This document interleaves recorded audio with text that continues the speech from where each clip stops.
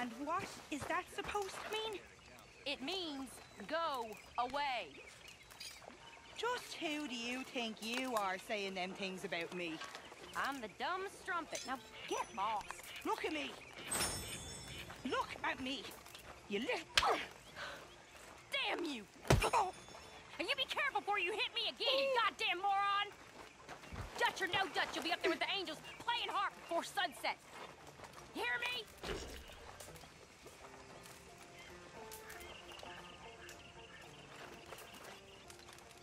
Hi, Tilly. Hi, Arthur. Hey there. I don't want to hear it, Arthur.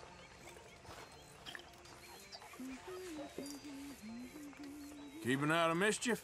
Yes, unfortunately. All right. I'll leave you to it. Fine.